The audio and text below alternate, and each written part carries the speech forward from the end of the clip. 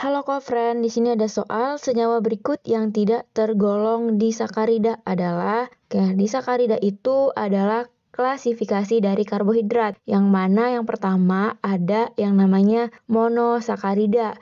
Dia tersusun atas satu molekul gula. Lalu disakarida di berarti dia tersusun atas dua molekul gula. Yang ketiga ada juga oligosakarida yang tersusun atas 3 sampai 10 molekul gula dan yang keempat polisakarida yang tersusun atas lebih dari 10 molekul gula.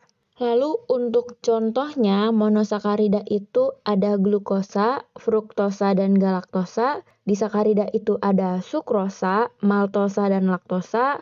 Oligo itu ada rafinosa dan polisakarida itu ada amilum dan selulosa. Oke, kita kembali ke soal senyawa yang tidak tergolong di sakarida. Nah, tadi kita sudah tahu ya di sakarida itu ada apa aja. Pilihan A itu ada maltosa. Nah, maltosa itu benar di sakarida yang mana dia tersusun atas glukosa dan glukosa ya.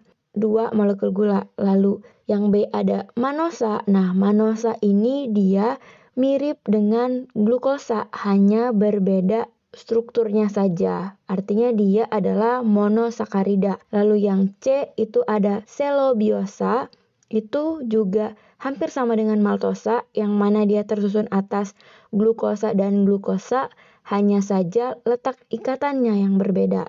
Dan yang D ada laktosa. Laktosa itu tersusun dari galaktosa dan glukosa, dua molekul.